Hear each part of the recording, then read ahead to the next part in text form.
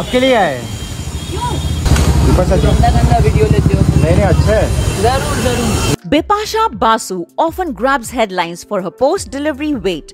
The actress has been trolled also for the same, but she has never been concerned about it. However, today Bipasha was spotted outside the gym and she interacted with shutterbugs for not clicking her pictures. She was having fun interactions in which she also revealed about her daughter Devi. In the video, we can see Bipasha dressed in all black colored gym clothes.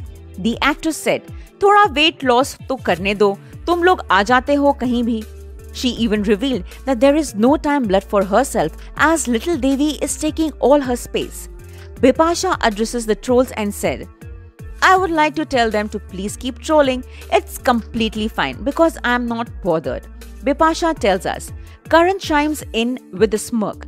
as long as they are watching us, it's okay. Devi is my number one when it comes to everything and anything.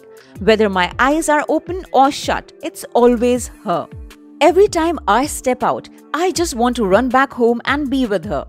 Take a look. While her battles reverberated with a lot of mothers on social media, it also became a bed of relentless trolling.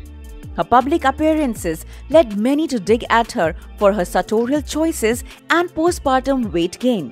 Ma'am रुके ना रुके ना थामा ना तुम लोग आ जाते हो कहीं भी मैम मैम मैम मैडम नहीं मिला मैडम प्लीज अरे हाथ मेरा से पकड़ लो मैम मैडम प्लीज नहीं मिला जी मैम डॉटर कैसी है डॉटर कैसी है थैंक यू थैंक यू